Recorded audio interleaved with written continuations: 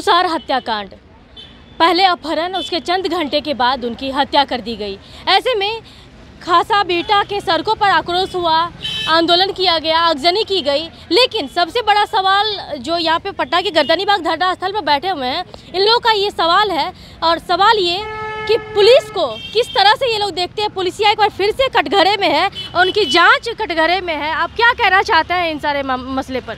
इन सारे मसलों पर हम लोग यही कहना चाहते हैं कि पटना जिला के तुषार हत्याकांड में जो भी हत्यारा है उसको जो है सो फांसी की सज़ा हो एसपीडी ट्रायल चले एसपीडी ट्रायल चला करके सरकार उसको जितना विल- अविलंब से अविलंब हो फांसी की सज़ा दे।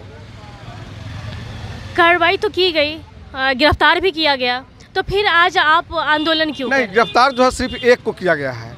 जो मुख्य आरोपित है उसको अभी तक गिरफ्तारी नहीं हुई है। अकेला जो है जो सिंगल एक्यूज को गिरफ़्तार किया गया वो अकेले नहीं उसकी हत्या कर सकता था। उसके साथ ये कौन सी गाड़ी से गया? उस गाड़ी को अभी तक जो है सो बरामदगी नहीं की गई। और उसके साथ कौन कौन लोग हैं उसका अभी तक खुलासा नहीं हुआ है। और पुलिस इस बात को जानबूझ करके छिपा रही है और वह अपने को इस तरह से छिपा रही है कि सिंगल जो है सो एक मुकेश कुमार पर आरोप लगा रही है। जबकि उसके साथ, मुकेश कुमार के साथ अन्य लोग भी हैं। जो अन्य लोग हैं, एक को गिरफ़्तार भी पुलिस की थी, जिसको आनंद फानंद में छोड़ दी। दूसरी बात कि जिस गाड़ी से तुषार को ले जाया गया, उस गाड़ी का अभी तक आता पता नहीं चला। न ही अभी तक के जो इस केस के अनुसंधान करता है, वह अनुसंधानकर्ता 161 में मृतक के परिवार के किसी भी व्यक्ति का जो है सभी तक बयान नहीं लिए हैं। अपहरण के समय तो लिया था लेकिन जब उसकी मृत्यु हो गई तो उस संदर्भ में भी उनको लेना चाहिए था।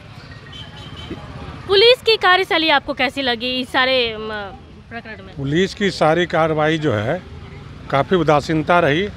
कहें क्योंकि जो अपहरणकर्ता का जिस मोबाइल से इनको आया था कि चालीस लाख रुपया हमको दीजिए और नंबर भी पुलिस को उपलब्ध कराएगी और समय पर रहते हुए अगर पुलिस तत्परता दिखाती तो निश्चित रूप से ब- बच्चे की जान बच जाती और अपराधी पकड़ा जाता। इसलिए पुलिस की नेग्लिजेंसी हंड्रेड परसेंट है।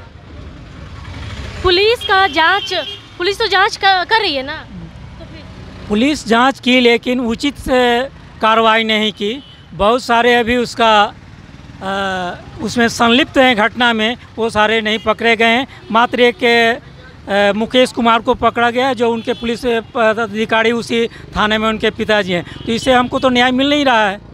और जब घटना घटी और अगर पुलिस कहती है कि उनका डेड बॉडी है तो उसी जगह बीटा थाना से लेके कन्हौली जहाँ घटना घटी है, उससे लेके पटना आ जाती है पुलिस। और हमको वहाँ के थानेदार ने कहा कि नेवरा ओपी में चलिए, जब वहाँ गए तो कहते हैं कि पटना चलिए। तो हमने कहा कि क्यों? मैं कोई अपराधी नहीं हूँ। मेरा अगर ये स्टेटमेंट लेना है तो जहाँ घटना घटी, वहाँ होनी चाहिए। हमने विरोध किया था। फिर भी कहा कि नहीं नहीं, वकील साहब, आप वहाँ चलिए और सब कुछ होगा। और वहाँ वहाँ ले जाके रखते हैं और वहाँ देखते हैं। हमको उस दिन डेड बॉडी भी नहीं दिखाया गया। कह दिया गया कि से डेड बॉडी आपको हॉस्पिटल में, जबकि वारदाते घटना में हमारे गाँव के बगल से डेड बॉडी ले जाया जाता है, पुलिस ले गई। तो वो तो संदिग्ध है ना?